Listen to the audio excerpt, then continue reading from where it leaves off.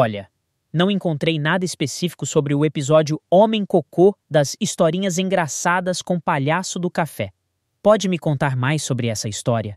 Quem é o Homem Cocô e como ele se envolve na história do Palhaço do Café? Estou curioso para ouvir sobre essa aventura cheia de emoção. Pronto, estou pronto para mergulhar nessa aventura palhacesca com você. Deitei na cama, coquei o cobertor e agora estou comendo pipoca, ansioso para ouvir sobre o palhaço do café e o misterioso homem cocô. Qual é o cenário dessa história? Vamos começar a jornada. O palhaço do café parecia estar em sua zona de conforto, relaxado na poltrona usada e imerso na imagem brilhante da TV antiga. O ambiente da sala era acolhedor, embora um pouco desarrumado, com revistas e livros espalhados pela mesa de centro.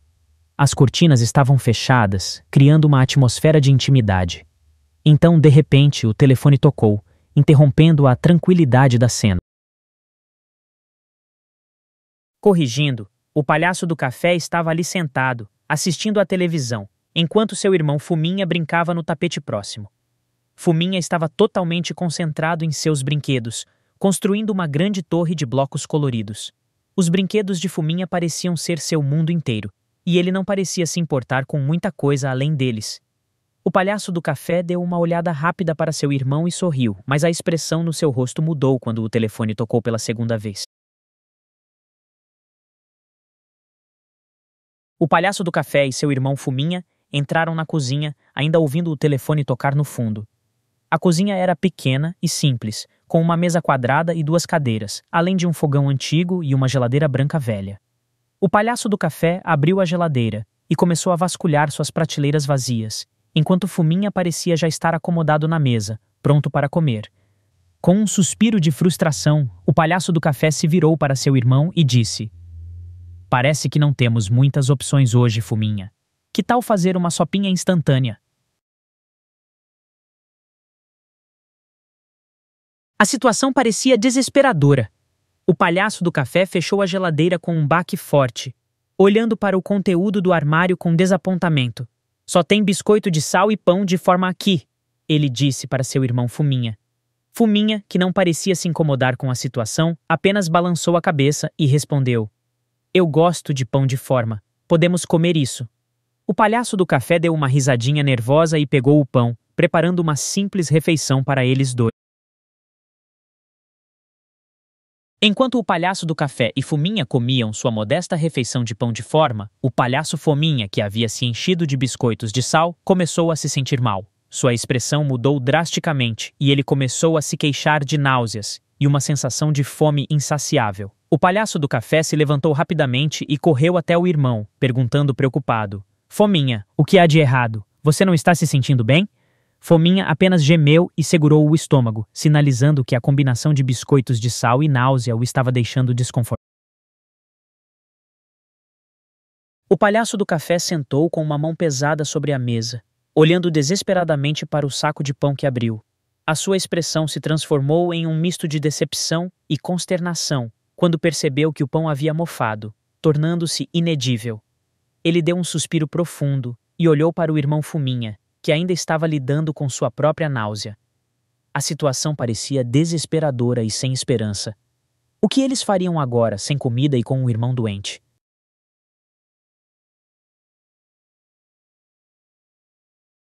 O palhaço do café, visivelmente irritado, disse: Olha o estado desse pão todo mofado. Que droga! Eu comprei esse pão há uns dois meses atrás e agora está completamente inutilizável. Como podemos comer assim? Ele bateu a mão na mesa, derrubando alguns dos biscoitos de sal que Fominha havia comido. A sala ficou em silêncio por um momento, enquanto os três palhaços tentavam processar sua situação desesperadora. O palhaço Fominha, desesperado e enjoado dos biscoitos de sal, começou a ter uma crise de paranoia. Ele se levantou abruptamente da cadeira, jogando os biscoitos de sal no chão com força. Aos poucos, ele começou a perder o equilíbrio balançando para um lado e para o outro. Antes que o palhaço do café ou Fuminha pudessem reagir, Fominha caiu da cadeira, batendo com força no chão e ficando em estado de choque. O palhaço do café correu para o irmão caído e disse: Fominha, você está bem? Diga alguma coisa.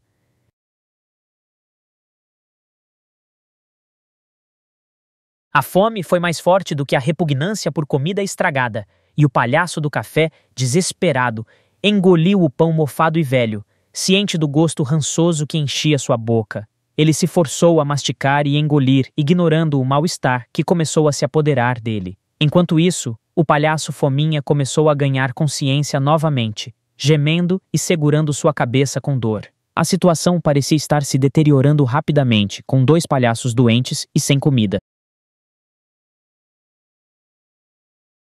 Em seu delírio alimentar, o palhaço do café se encontrava em um estado de paranoia crescente.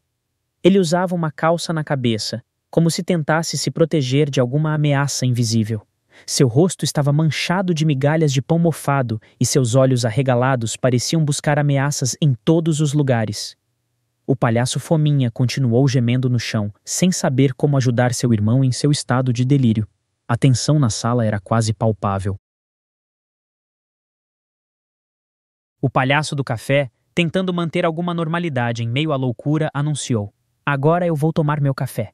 Ele se levantou da cadeira com dificuldade e andou até a cozinha, onde procurou por um pouco de café para preparar. Mas antes que pudesse encontrar qualquer coisa, uma dor intensa e repentina começou a invadir seu estômago, fazendo-o dobrar-se e gritar de dor. O pão mofado finalmente começou a fazer seu trabalho maligno e o palhaço do café sentiu-se fraco e tonto. A situação havia se tornado tão absurda quanto desesperadora. O palhaço do café estava ali, de pé, com uma expressão de horror misturado com dor no rosto. Sua barriga roncava alto e ele começou a se mover incontrolavelmente, uma caganeira muito forte tomando conta dele. O palhaço Fominha olhou para seu irmão com uma mistura de desespero e choque, incapaz de fazer qualquer coisa além de assistir às cenas bizarras que se desenrolavam diante de seus olhos. O palhaço Fominha, agora apavorado, encontrava-se em um estado de paranoia devido à cena surreal e repugnante que se desdobrava na cozinha. O palhaço do café, além de sofrer com a dor de barriga, também passava por um embaraçoso e interminável ataque de peidos, enchendo a sala com um fedor nauseante. A cozinha parecia um campo de batalha de odores e sons grotescos. Fominha tentou respirar pelo bico, mas ainda assim a putridade era quase insuportável. O palhaço do café parecia estar lutando contra uma batalha perdida.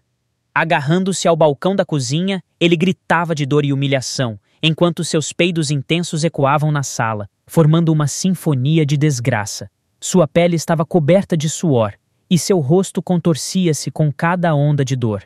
Foi um espetáculo tão bizarro e tão trágico que o palhaço Fominha se perguntava se estava acontecendo mesmo, ou se era apenas uma terrível alucinação.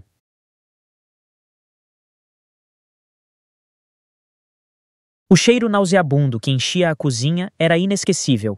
O palhaço Fominha, enquanto observava o irmão sofrer com seus problemas gastrointestinais, teve uma lembrança súbita do barracão do velho apodre, um dos lugares mais sórdidos e fedorentos que ele já havia visto. A semelhança do cheiro era tão forte que Fominha quase pode jurar que estava de volta ao barracão, respirando o ar viciado e úmido. De repente, o palhaço do café sentiu a necessidade imperiosa se aproximando. Sua traseira começou a tremer involuntariamente, e ele se dobrou por completo, segurando o abdômen com ambas as mãos. Uma onda de dor intensa atravessou seu rosto, enquanto ele gritava em desespero: Oh, oh, oh, oh! Seu corpo começou a tremer, e os outros dois palhaços pareciam ter um pressentimento do que estava para vir. O ambiente na cozinha tornou-se ainda mais tenso como se a situação já não fosse absurda o suficiente. O palhaço Fominha, paralisado pelo medo e pelo estado de choque, finalmente encontrou forças para falar. E agora o que eu faço? Será que eu vou ter que chamar a stepmom? Ele sabia que a situação estava fora de controle e talvez a ajuda de alguém mais velho e experiente fosse necessária para lidar com o caos que se desenrolava diante de seus olhos. Entretanto, o pensamento de chamar sua stepmom o deixava inquieto, pois ele sabia que isso significaria admitir que eles não conseguiam lidar com a situação sozinhos. A cozinha foi abalada por um barulho que soou como uma explosão. Foi o palhaço do café, finalmente cedendo às forças da natureza e liberando um pum altíssimo e poderoso. O cheiro se tornou ainda mais insuportável e a situação se tornou ainda mais caótica. Os outros dois palhaços ficaram boquiabertos, incapazes de acreditar no que estavam presenciando. Era como se o mundo tivesse dado uma guinada e tudo o que eles conheciam tivesse sido virado do avesso. O palhaço Fominha, agora desesperado, olhou para o palhaço do café, que estava em um estado deplorável. O cheiro, o barulho, o caos, tudo era quase inacreditável. Ele sabia que não havia escapatória e se voltou para o telefone, preparando-se para fazer a chamada que ele tanto temia. Vixe, rapaz, o palhaço do café realmente está cagado, ele disse em voz baixa. Eu vou ter que chamar a Venera. Ele engoliu em seco e pegou o telefone, sabendo que a stepmom não iria ficar nada feliz em receber essa chamada. Como uma fúria de vento, o palhaço do café correu desesperadamente para o banheiro, suas mãos segurando sua barriga inflamada. Ele abriu a porta do banheiro com tanta força que quase a arrancou dos gonzos, e então a trancou atrás dele. Nesse momento, um grito gutural e primal ecoou pela casa.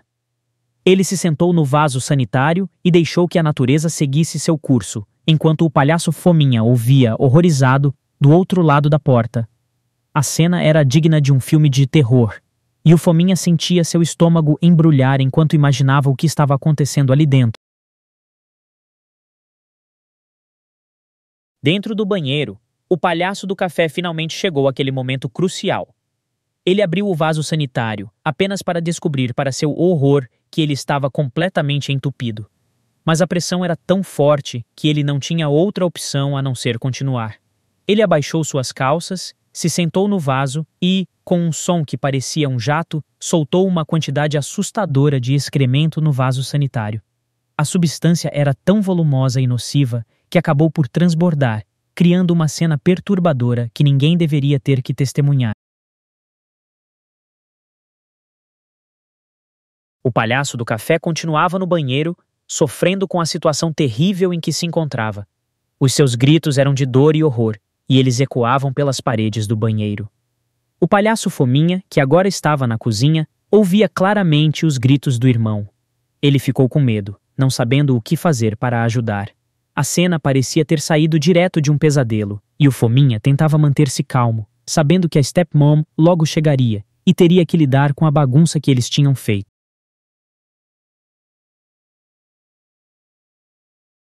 Finalmente, depois de minutos que pareceram horas, a caganeira do palhaço do café chegou ao fim. Ele sentiu um alívio enorme, mas sabia que ainda havia trabalho a ser feito. Ele pegou o papel higiênico e começou a limpar-se cuidadosamente, tentando se livrar da imundície que o envolvia. A cena ainda era horrível, com um monte de excremento no vaso sanitário e o cheiro insuportável pairando no ar. O palhaço do café sabia que ainda teria que lidar com a consequência do desastre que acabara de acontecer, mas, por agora, ele apenas estava feliz por ter sobrevivido ao incidente. O palhaço do café começou a cantar para si mesmo, tentando aliviar um pouco a tensão do momento e esquecer a cena traumática que tinha acabado de vivenciar. A música, com seu refrão repetitivo e sua letra tosca, parecia descrever perfeitamente o banheiro em que ele se encontrava. Banheiro mal, banheiro mal, fedorento e nojento, cheio de bosta e xixi. Banheiro mal, banheiro mal, fedorento e nojento, cheio de bosta e xixi. Ele cantava com os olhos fechados, tentando levar o pensamento para um lugar distante e menos nojento do que aquele banheiro.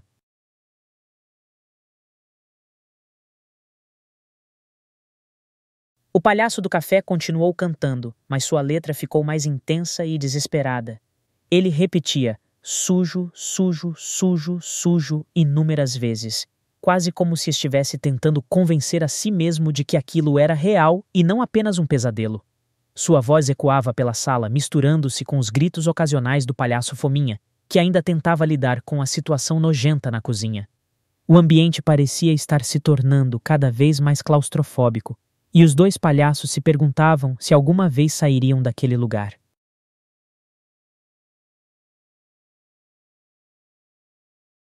O palhaço do café, agora falando sozinho no banheiro, começou a delirar, murmurando coisas sem sentido. Seu cérebro ainda não havia se recuperado do trauma que acabara de vivenciar, e suas palavras eram tão aleatórias quanto as circunstâncias em que ele se encontrava. Ele começou a falar sobre a menina fada inútil, chamando-a de tosca e se referindo a ela como a panquequeira. Era como se o palhaço do café estivesse revivendo algum momento passado, enquanto sua mente se perdia nas brumas da confusão e do caos. O palhaço do café continuou a limpar-se no banheiro, usando o papel higiênico para tentar se livrar do horror que havia se espalhado por sua traseira e coxas. Mas ao mesmo tempo continuava a falar sozinho, agora acusando alguma menina invisível de não ter pago pelo helicóptero. A situação era tão absurda que parecia quase cômica, mas o palhaço do café estava tão perturbado que não parecia se dar conta disso. Suas palavras não faziam sentido e seu comportamento era tão errático quanto suas frases.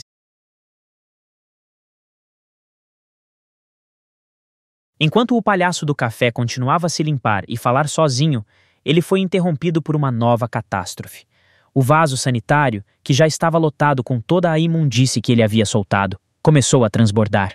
A água misturada com o excremento começou a se espalhar pelo banheiro, criando uma cena tão repugnante que o palhaço do café ficou paralisado por um momento, incapaz de reagir.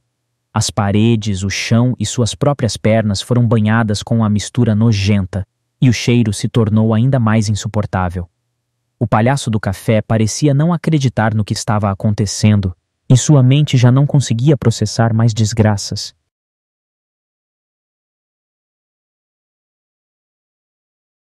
O palhaço do café, completamente assustado e chocado com a situação, assistiu impotente enquanto o banheiro se transformava em uma cena de horror. O vaso sanitário transbordava e a água suja se espalhava por todo o chão e pelas paredes, criando uma poça imunda e repulsiva. O cheiro era insuportável e o palhaço do café ficou paralisado por um momento, incapaz de raciocinar uma saída. Sua mente estava em pânico e ele não conseguia acreditar no que estava vendo. Ele finalmente gritou: Que bosta é essa? refletindo seu estado de espanto e desespero. O palhaço do café, ainda em choque, finalmente conseguiu se mover e sentou na tampa do vaso sanitário tentando impedir que a água suja se espalhasse mais pelo banheiro. Ele começou a fazer barulhos estranhos, como se estivesse lutando contra algo sobrenatural. O palhaço Fominha, que agora estava na cozinha, começou a se preocupar com a ausência de resposta do irmão. Ele ouvia apenas silêncio e barulhos estranhos saindo do banheiro, e a situação começava a parecer cada vez mais assustadora. Ele não sabia o que acontecia ali dentro, mas tinha certeza de que não poderia ser nada de bom. De repente, como um final de pesadelo, um jato de excremento saiu do vaso sanitário com tanta força que levou tudo à sua frente. O palhaço do café, que estava sentado na tampa do vaso, foi jogado para o chão, completamente coberto pela sujeira. Mas a pior parte ainda estava por vir. De dentro do vaso apareceu um troço enorme, como se fosse uma serpente monstruosa. O palhaço do café olhou para ele, os olhos arregalados de horror, enquanto a criatura parecia se preparar para atacar. A situação havia saído do reino do absurdo para se tornar completamente sobrenatural. O troço enorme saiu do vaso sanitário, coberto por uma substância escura e viscosa que parecia ser uma mistura de excremento e lodo. Sua aparência era repugnante, como uma pedra feita de bosta, e o cheiro era ainda mais intolerável do que antes. O palhaço do café não conseguia nem respirar direito. Tão forte era o fedor. Ele se contorcia no chão, tentando se afastar do monstro que havia saído do vaso, mas parecia que não havia escapatória. A cena era tão horrível que nem mesmo o palhaço Fominha, que estava na cozinha, poderia imaginar o que estava acontecendo. De repente, uma figura humana saiu da escuridão do banheiro, toda coberta pela mesma substância fedorenta que o palhaço do café havia enfrentado. Era o Homem Cocô, uma criatura que parecia ter saído diretamente dos piores pesadelos de qualquer pessoa. O palhaço do café, em pânico, saiu correndo do banheiro, gritando por socorro. O Homem Cocô, por sua vez, começou a se mover pela casa, deixando uma trilha de excremento e destruição em seu caminho. O palhaço Fominha ouviu os gritos do irmão e correu para ver o que estava acontecendo. A cena que se deparou era ainda pior do que ele poderia ter imaginado. O palhaço do café, ainda coberto pela substância nojenta, pegou o irmão pelo braço e começou a correr. Corre, palhaço Fominha! Vamos nos esconder lá em cima! Tem um homem melado de bosta aqui! Os dois subiram as escadas desesperadamente, tentando se afastar da criatura horrível. Quando chegaram ao topo, o palhaço do café trancou a porta, tentando garantir que nada entrasse. O palhaço Fominha tremia de medo, perguntando ao irmão o que estava acontecendo. Não sei, palhaço Fominha, só sei que temos que nos esconder até que isso acabe. Não podemos deixar que esse monstro nos pegue.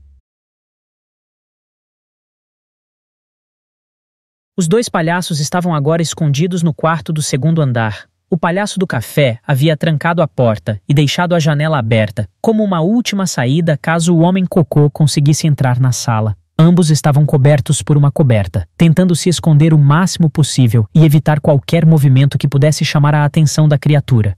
A caganeira era tanta que sentiam o cheiro do excremento impregnado na coberta. Eles tremiam de medo, sabendo que se fossem descobertos, a consequência seria terrível. A tensão no ar era tão densa que parecia que qualquer momento a porta poderia ser arrombada. Enquanto os dois palhaços estavam escondidos no quarto, o homem cocô finalmente saiu do banheiro, arrombando a porta como se fosse feita de papel. A porta ficou completamente destruída, com pedaços de madeira espalhados pelo chão. Mas a criatura não se contentou com isso. Ele se virou para a porta do quarto em que os palhaços se escondiam e começou a esfregar seu corpo melado na madeira, deixando a porta toda suja e melada de bosta.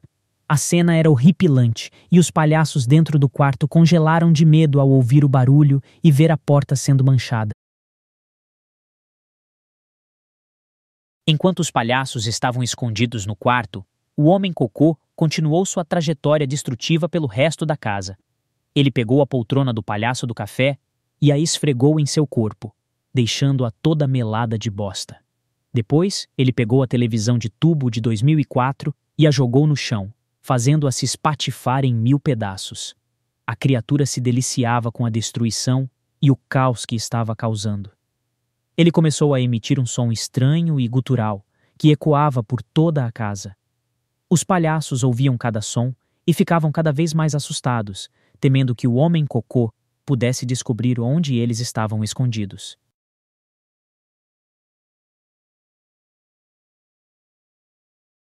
O homem cocô se movia como uma força da natureza pelas diferentes cômodos da casa do palhaço do café, deixando um rastro de bosta e destruição em seu caminho.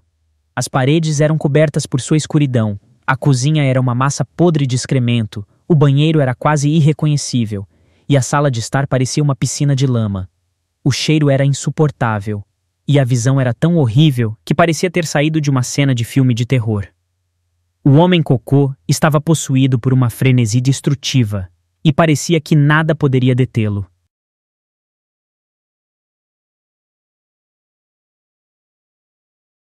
O homem cocô, cheio de uma energia sobrenatural, começou a subir as escadas da casa do palhaço do café. A cada passo, ele deixava um rastro de excremento, sujando e manchando cada degrau. Ele parecia saber exatamente onde ir, movendo-se com propósito e determinação, quando chegou ao segundo andar, parou diante da porta trancada do quarto onde os palhaços se escondiam. Com um movimento rápido, ele colocou suas mãos meladas na porta e começou a esfregá-las na madeira, deixando-a toda suja e fedorenta. Os palhaços, que estavam dentro do quarto, puderam ouvir o barulho terrível e começaram a se agitar, sabendo que seu refúgio logo seria invadido. O homem cocô começou a bater com força na porta do quarto, fazendo um barulho tão horrível que parecia que a casa inteira tremia. O palhaço do café, com os olhos arregalados de medo, deixou o cobertor que o protegia e começou a se mover em direção à janela. Ele sabia que sua única esperança era escapar daquela criatura monstruosa antes que fosse tarde demais. O homem cocô continuava a bater na porta, e a madeira começou a ceder, o palhaço do café encostou na janela, pronto para despencar se fosse preciso. O palhaço Fominha estava chorando histericamente, assustado com a situação. Ele não sabia o que fazer e estava com medo de morrer ou ser espancado. O palhaço do café, tentando manter a calma, disse ao irmão: Calma, fominha. Nós vamos pular do segundo andar, mas a altura é baixa. E nossa van está estacionada logo embaixo. Ela vai amortecer um pouco a queda e vamos conseguir escapar daqui. Fique tranquilo, tudo vai ficar bem. O palhaço Fominha não estava muito convencido, mas sabia que não tinha outra opção. A porta do quarto começou a se abrir lentamente e o homem cocô se preparava para entrar.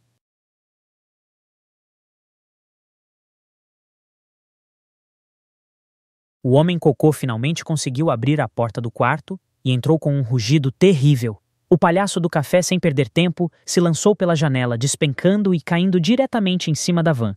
O impacto foi forte, mas como previsto, a van amorteceu a queda e ele saiu relativamente ileso. O palhaço Fominha, por sua vez, tentou seguir o irmão, mas quando pisou na janela escorregou e caiu, despencando sem nada para amortecer a queda.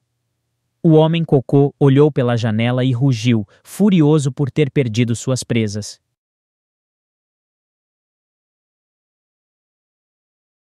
O palhaço Fominha caiu como um saco de batatas, sem qualquer graça ou coordenação.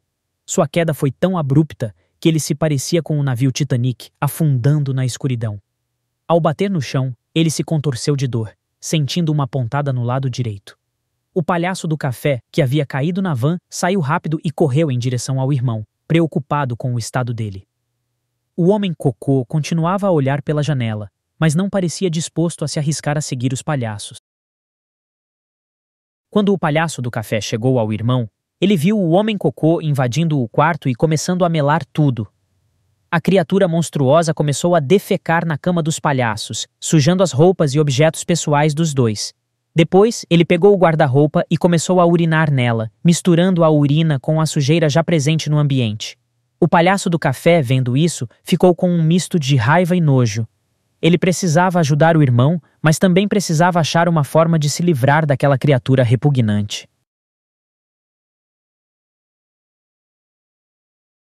Enquanto o homem cocô continuava sua perseguição destrutiva dentro da casa, os palhaços estavam escondidos na van, com os olhos arregalados e o coração a mil. Eles trancaram as portas da van, mas mesmo assim sentiam-se inseguros.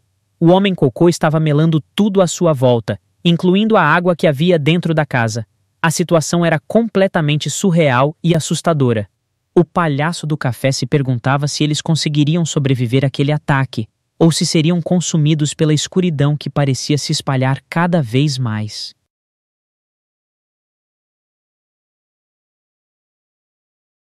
O quarto dos palhaços estava irreconhecível.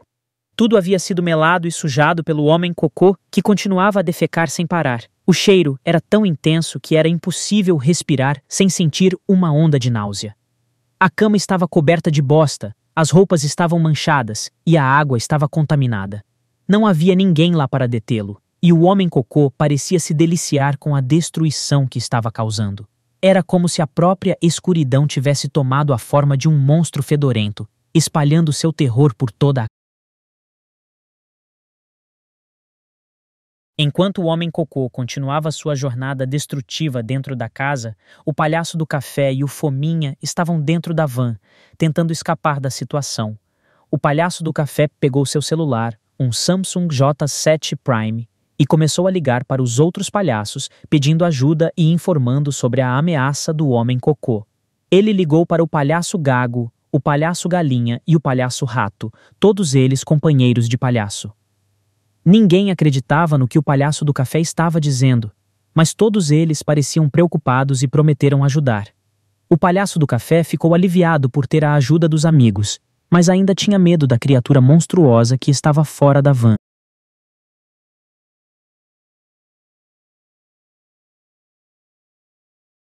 O palhaço Fominha, nervoso e com dificuldade de expressar-se, perguntou ao irmão: Você está ligando para quem, café?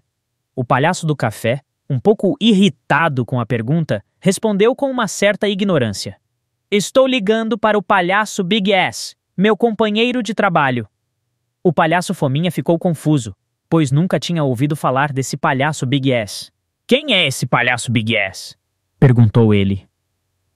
O palhaço do café deu uma risadinha e respondeu: Ele é um palhaço muito grande e gordo, que trabalha comigo na festa de aniversário. É um bom amigo e sei que vai nos ajudar.